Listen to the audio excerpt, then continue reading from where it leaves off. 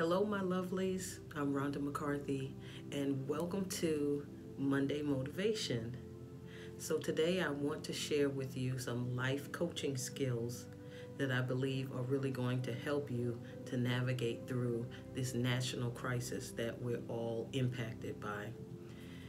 Let's start with a scripture reference because everything is founded and based in the Word of God. Amen.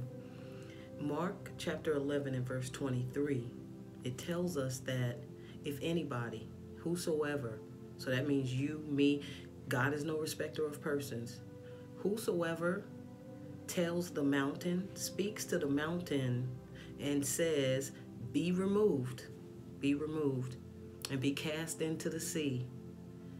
And in their heart, as they speak this, they do not doubt, it will be done. That mountain, whatever it is, will be removed exactly the way that you said it. So, I want to talk to you about a few things that I've been doing since this national crisis and the threat of the COVID virus, COVID 19. We are all impacted by this national pandemic. So, I want to talk about some things that you can do to capitalize upon this time when we're all locked in our homes and some of us may be feeling like we're going crazy, but you can use this as an opportunity. One thing that I'm so very blessed to be experiencing and benefiting from is taking this time and using it to speak to the mountain and to push myself into those situations that I desire to see in my life and that I've dreamed about. So, the first life skill that I want to share with you is identification. And what do I mean by identification? The first thing that you want to do when you are wanting to bring about change in your life and you're want, wanting to gather the courage and the strength to speak to the mountain, that takes courage. That takes resolve. You can't walk up to a mountain and be like, Can you get out of my way, please? You have to speak to it. You have to tell it, okay, I have authority to do this.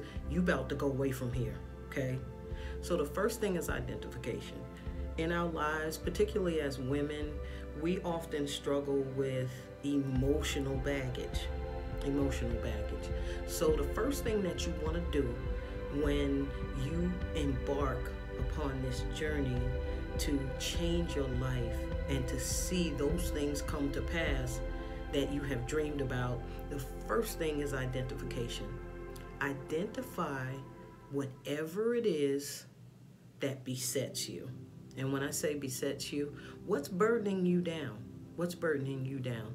Do you feel depressed? Do you feel guilt? Do you feel shame? Do you feel you're not worthy or deserving to have a wonderful life like you see a lot of other people having? So, the first thing is to identify whatever it is. Once you identify whatever that emotion is that is plaguing you, and a plague is something that comes and it just destroys. This emotion may be plaguing you, but if you identify the emotion, this guilt's got to go, this depression has got to go, that's the first step. So the first thing is to sit down with yourself and identify, identify what it is that is really stopping you from accomplishing the success that you want to see in your life. So that's the first thing. And you want to write that down. Write it down. This is my journal. So this is my journal. And we're going to talk about what it is that you can do with your journal that's really going to be powerful. But first thing is to write it down and to identify, identify what it is that's plaguing you. Second step. Now this is a life coaching skill.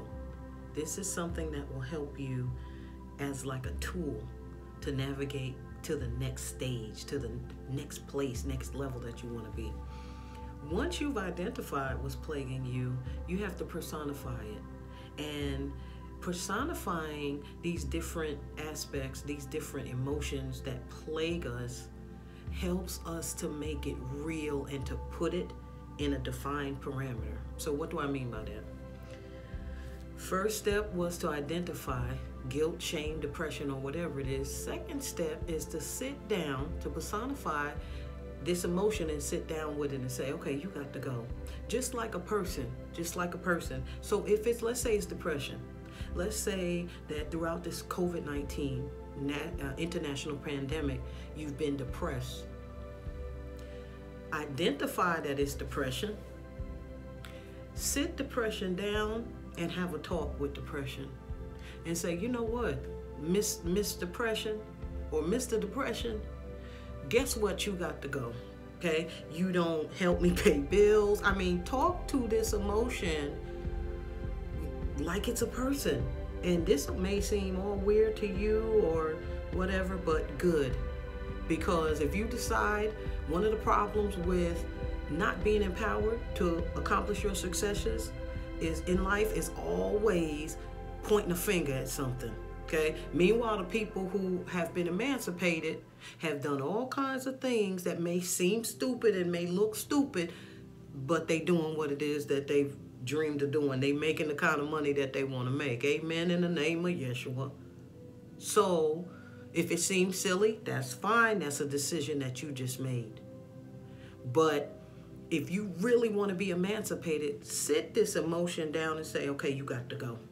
You got to go. You've plagued me. You've gotten on my nerves. You don't help me pay rent. Matter of fact, you stop me from paying rent. Okay? You make it so that I can't enjoy my friends, my family. Accuse this emotion that's plaguing you, and you're going to feel more empowered as a result. You're going to feel like you had that talk. Same way you have a talk with somebody that's in your life that ain't making you feel it no more, and it's like you got to go. So have a sit down and personify this emotion so that you can eradicate it, so that you can rip it out by its roots. And that little technique I've used throughout my life, and it just makes it a little easier because emotions can be kind of like the air. It's like you can't grab it. It's like, where is it? You're feeling it, but it's like, where did it come from and why did it come and all these things, okay? So these are techniques, these are psychological techniques that make it a little easier to identify these things. Okay, so now you've identified the problematic emotion, you've had your sit down talk, and you've sent this emotion packing, and emotions will come back. They're like, Yeah, I left, but I want to be with you again. Okay, so keep telling it, keep telling it, and don't doubt in your heart like the word of God says, tell that mountain to move and say it with some resolve. You got to do the head shake, you got to do the neck roll and the, do that, whatever it is. Number 3, number 3.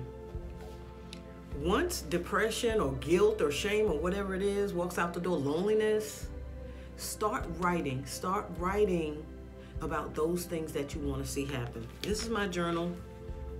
And I just think this is so cute, this journal, and I really like this journal. But if you look at my journal, I have stickers in there, and you know, people might think that that's silly or whatever, but you know what? I'm walking towards my goals. They are manifesting, okay? So again, it's a choice and a decision to say, oh, that's silly or whatever. That's your choice. That's your choice. But if something is working for one person, there's a potential that it can work for the next person. So I, I've been journaling through this process. I've been journaling, journaling. I, I went to the Dollar Tree and got stickers. So I have like stickers in here. I have stickers that kind of just, you know, cheer me on. So now, now that you've done step one and step two, start writing. Start writing about what you want to see. I've got little pictures in here. See that? That's a picture of a stack of money, and there is an amount that's connected with it. Take a look at this. I got this in the mail. I got this in the mail. It's like one of these checks, and it's for a few hundred dollars, and it says "Pay to the order, of Rhonda McCarthy," so on and so forth. And it's from one of these um, banks that you know this um, you can get this loan and all this kind of stuff. Well, as I was speaking these things into existence, I acknowledged that that as okay, here it comes. Here it comes. The checks are coming in the mail. It don't matter that that's not a real check. It doesn't matter that it's not for the amount that I've called out, but the floodgates are open now. Okay? So start visualizing what you want to see. Start speaking to the mountain that's in the way of those things that you want to see happen. Start speaking to those things and do not doubt in your heart. How do you speak to a mountain and not doubt? A mountain is very intimidating, like for real. The way that you can speak to a mountain and not doubt that it's going to do what you told it to do, like sit down. Did you hear me say sit down? The way that you do that is you clear out all of those emotions that are making you believe that you're not deserving, that are making you doubt. Because negative emotions, I'm not talking about positive emotions, negative emotions will cause you to doubt that you're really deserving of this. Like you can have that vehicle that you've always dreamed of driving or live in a neighborhood you've always wanted to live in or make the income you've always wanted to, to make. Negative emotions, the purpose that they serve, and they work for the kingdom of darkness. The purpose that they serve is to continually reinforce to you, you ain't good enough for that. Oh, what you think you're doing? It's a choice. So the way that you're going to do this is threefold identify, personify, and then start encoding, start writing. Speak those things that are not as though they already are, and you're going to see some things come through, baby doll. All right, my lovelies. I really hope that this motivational message is a benefit to you. I pray that it blesses your life tremendously.